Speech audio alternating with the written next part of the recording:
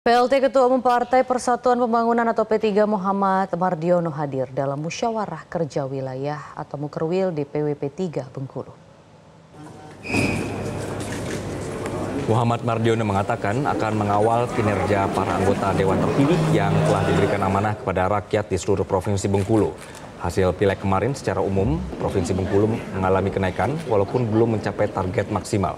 Namun ke depan, kader yang terpilih harus bisa memperjuangkan kesejahteraan masyarakat Bengkulu.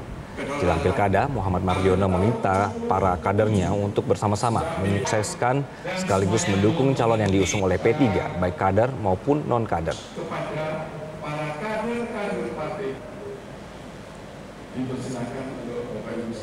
Paling penting hasil berkuil tadi, kita menyepakati kesepakatan rakernas kemarin. Jadi untuk tabar itu di tahun 2025 dan kini kita fokus untuk memenangkan pilkada di tahun 2024 ini. Jelajahi cara baru mendapatkan informasi. Download Metro TV Extend sekarang.